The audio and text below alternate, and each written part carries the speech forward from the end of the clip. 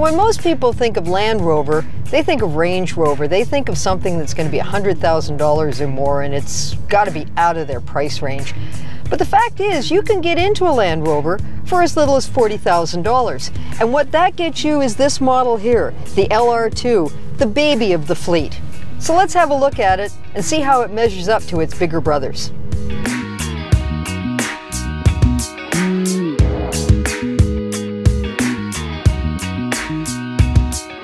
Now before we go any further, I have to admit I'm not in the base LR2. I'm in the top of the line HSE Luxury, which starts just a touch over $48,000, and mine has a few more options that brings it to just a little over 52,000. But when you're looking at the various trim lines, it's mostly in just a few of the features. So for example, in the base one, you get body colored door handles. You don't get a backup camera. You don't get memory seats. But everything else is pretty much the same.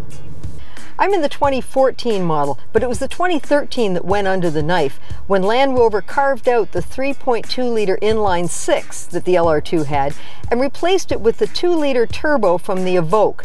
That gives us 240 horsepower, 250 foot-pounds of torque at 1750 RPM, so it scoots.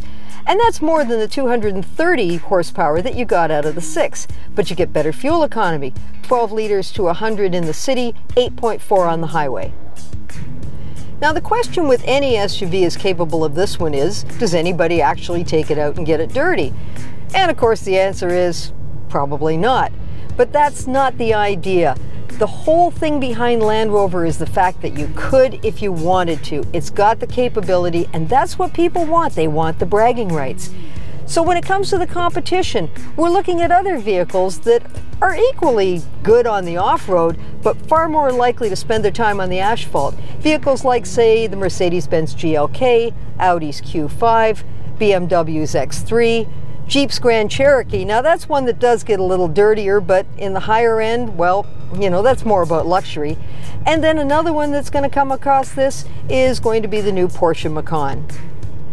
Now that we're not going off-road with it, let's take it on the asphalt and see how it handles. And it does it very well. I like the smooth steering response. It's sharp.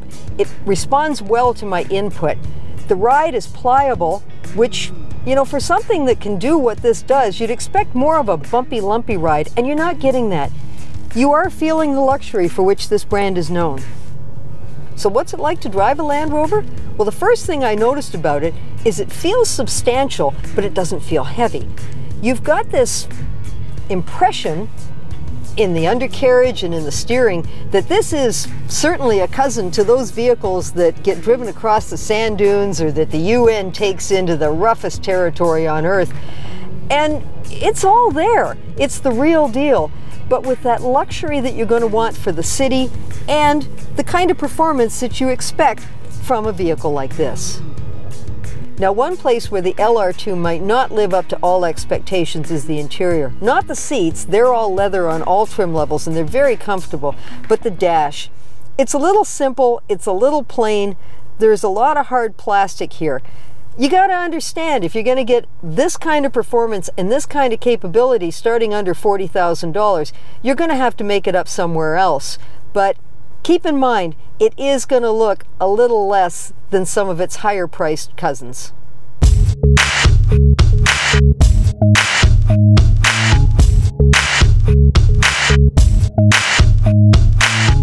And we do have to talk about the elephant in the room, which is Land Rover's reputation for reliability. It is getting better, according to consumer advocate groups, but I would still recommend thinking about an extended warranty if you're buying one of these. Now there are some things I really like. The steering wheel is handsome and it's nicely sized. We have this dual pane sunroof that makes it light and airy in here, no claustrophobia. And the bulges on the hood, well, the idea behind them, Land Rover says, is that when you're driving off-road, it gives you a better perspective of where you're going. And I have to admit, it really does.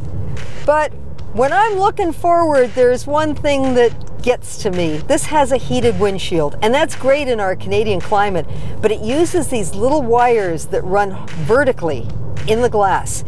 And if you don't realize they're there, well, it looks clear. And as soon as you realize they are, it's the only thing you can see.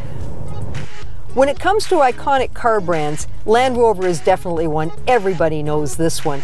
But a lot of them, they're very expensive. They're out of reach for a lot of people. So, what about the $40,000 one? Well, it's capable, it's comfortable, it holds five passengers, holds all their luggage, the performance is great, the ride is nice. Yeah, this is an iconic Land Rover too.